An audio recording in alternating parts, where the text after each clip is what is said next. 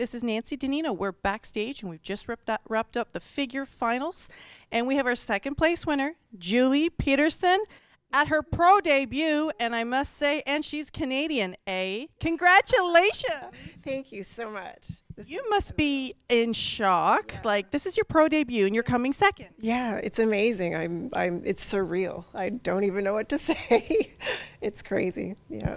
Now, when you trained for this show, what were your own expectations? Did you train if coming in the top three, or was it something that you just did your personal best? Well, no, I'm a pretty competitive person, so I always train to win, I guess, you know, but you have to, I mean, coming from the amateur level and going into the pros, you kind of have to get ready to start at the bottom again, right? So I had that in my mind as well, but I always go into a show wanting to win. You know, I'm going to try to do my best. And what would you say are your strongest in terms of your physique? What are your your strengths?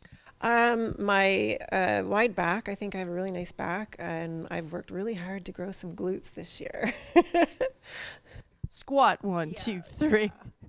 And who were some of your figure uh, inspirations over the years? When I first got into competing, Erin Stern, she was my idol. She still is, you know, obviously the Nicole Wilkins and all that. But um, yeah, for sure, Erin Stern.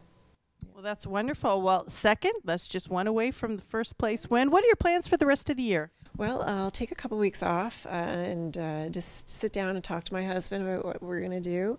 Uh, probably consider the Vancouver show uh, in July and possibly Tampa, Tim Gardner's Tampa show in August.